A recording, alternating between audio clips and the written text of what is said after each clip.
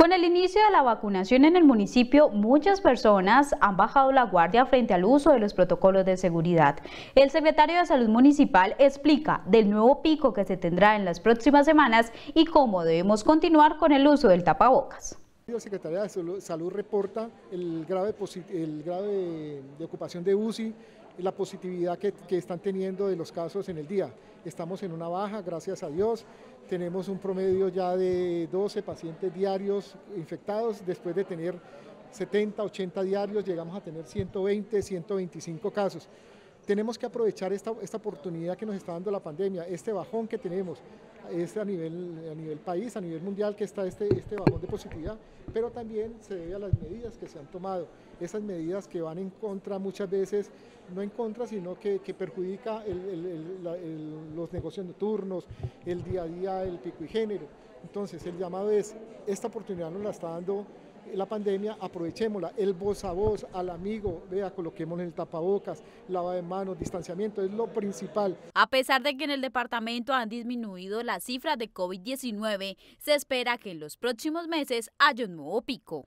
Esperamos una, otro pico como el que tuvimos en diciembre, lo esperamos para la, más o menos para eh, Semana Santa. ¿Qué queremos? Que Tuluá nos preparemos, miremos eh, a ese voz a voz, esas tres acciones simples que les pedimos que hagan, nos va a minimizar y vamos a tener posiblemente con la vacuna unos niveles más altos de, que no vamos a tener necesidad de, UCI eh, que tenemos para que la UCI nos tenga, para todos los, los habitantes de Tuluá. Entonces seguimos con el llamado, distanciamiento, lavado de manos, uso de protocolos de bioseguridad, y el voz a voz. Ya se cumple un año aproximadamente del inicio de la pandemia y de dar las mismas recomendaciones de distanciamiento y el no realizar eventos de gran aforo.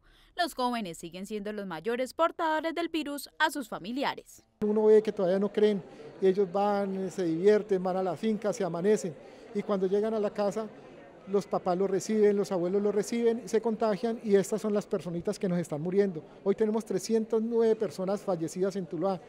Entonces, es, y son personas, y la estadística nos muestra que son el 80%, más del 80% son adultos mayores. En Tuluá ya se cumplió con la vacunación planteada para el primer lote de vacunas que llegó desde la Secretaría de Salud del país, inmunizando al sector médico de primera línea y adultos mayores de 80 años en los centros geriátricos. Tiene una efectividad del 65 en la primera, con la segunda queda el 95% de, cubriendo de cobertura. Si te gustó esta nota de CNS Noticias Tuluá, no olvides suscribirte a nuestro canal de YouTube Teluro Producciones y activar la campana para que te lleguen todas las notificaciones.